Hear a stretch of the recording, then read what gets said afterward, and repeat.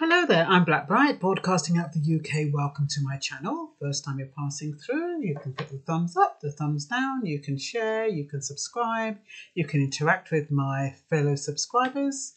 And yes, that's about it. Um, today I wanted to talk about um, the new law that's coming out, well, it's being enacted in January 2021. I came across it because I was listening to one of my many, many videos, and it said that uh, immigrants who are in the UK not earning 25,600 could be deported. And I'm like, okay, I know that people coming into the country under this new points based system you have to be earning 25,600. Uh, or you can earn 20,480, but you need to have the points that kind of bump you up. So suppose you get a job that's offering you, somebody's sponsoring you, they're prepared to give you 20,000, but you have a PhD, for example. That could top you up and you don't necessarily need the 25,600. But this was talking about people, immigrants already in the UK. So then I thought to myself, how would that work?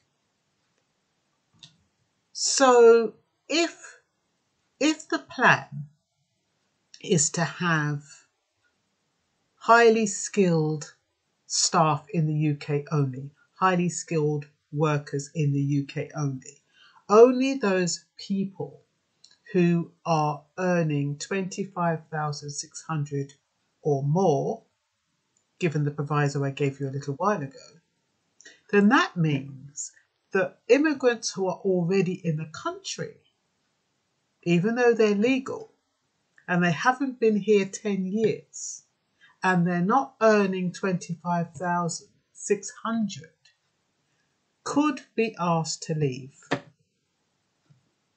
That is what my understanding of what this person was saying on the video. Now that's kind of scary, isn't it? Because 25,600, that's like, that's quite a lot of money.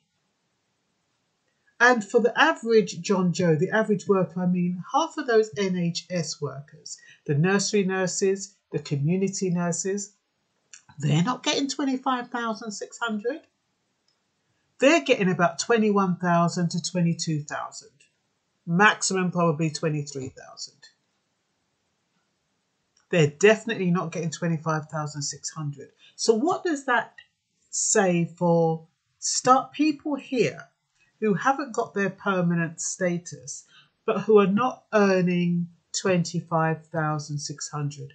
I think people need to see somebody who can give them more advice on that. I really do.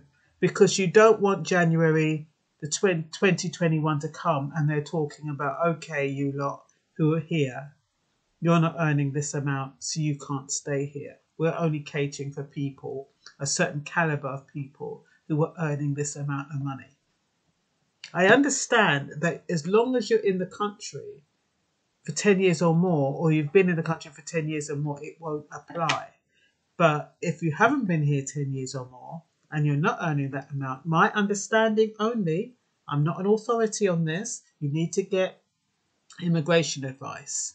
But my understanding is that as of 2021, that will be the situation. Um, immigrants earning less than 25,600 may be deported from the UK when the multi-year programme of change led by the UK Home Office comes into force in January 2021 unless they can show their occupation is in high demand and still then they will be required to show a job offer from an approved sponsor. A lot of workers will not be able to meet that threshold, including nursery nurses, band 3 community nurses working for the NHS, and a lot of other people working for the local authority. I don't think, you know, when they're offering this threshold, I don't think somebody who, like Boris Johnson, who earned 13 million in under a year. Priti Patel, who earns £1,000 an hour. Sadiq Khan, who earns £150,000 a year. How can they possibly relate to what an adequate threshold is? I mean, they do not realize how little, what little earnings people receive these days. And for them to um, say that 25,600 is the threshold when you need nursery nurses and you need lots of, um, not social workers because they earn more than that, but you, you know, like trainees and all of that they're not going to be, they're not paid that amount of money. EU and non EU citizens will be treated the same, i.e., points based. Um, and that means you have to have the equivalent of A levels and above. A levels ain't easy, but you have to have the equivalent in order to build up your points. The more the more qualifications you have though, even though you're prepared to do a lower job, the more likely you're able to come in. Now suppose you've got a PhD, but then they're saying you have to have a job offer. It's going to be difficult, peeps. Difficult. Okay, EU and non non EU citizens will be treated the same, i.e., points based system and a salary offered of no less than 25,600 unless they can trade off points, in which case they can have an offer of no less than 20,480 and then they can trade off the points. Now, if they can trade off the points for, I mean, there's a series of points that you can get. I think age is one, English language is another.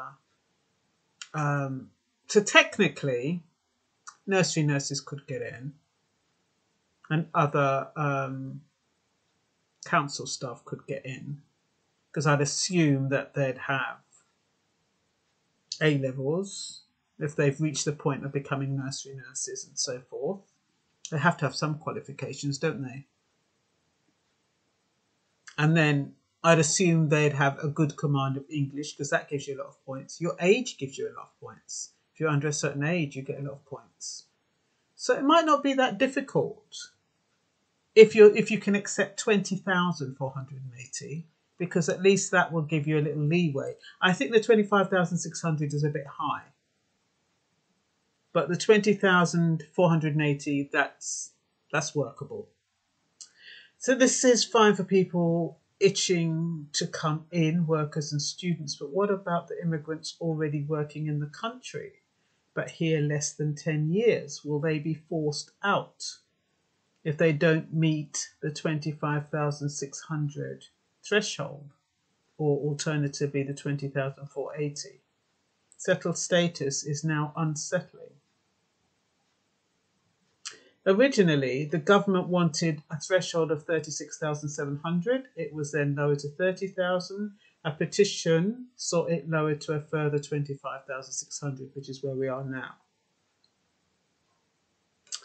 So, like I said in my previous video, um, it doesn't seem to be what the work, what the person is doing, the employee is doing, more what they are, um, how much they're worth financially.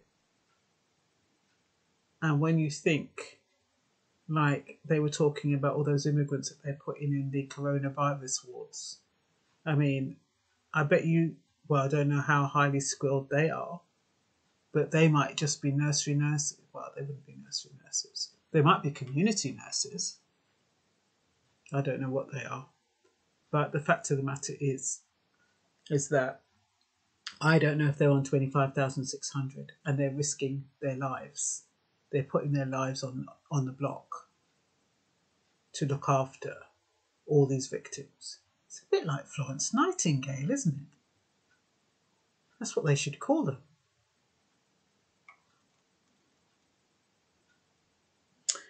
So yeah, the people that keep the wheels running get the lowest pay and then they get shut on, don't they? People just don't appreciate what they're doing. It's like when they're talking about, you know, like apparently agriculture and farmers, they're allowed to come in as low skilled. They're usually from Romania and Eastern European. They're allowed to come in as low skilled. They know there's nobody here that's going to be doing that, picking bloody berries or whatever they pick. They know that. So you see, they they're quite clever, you know, because they make exceptions where they need to make exceptions. So yeah, um, that's all I really wanted to say about that. I'm not going to kind of stretch it out. I just wanted to kind of put you on the alert, just in case. Um, when all this is over, I mean, you've still got till January, still quite a way away. You could check it out. Check how secure you are with this new, what do they call it?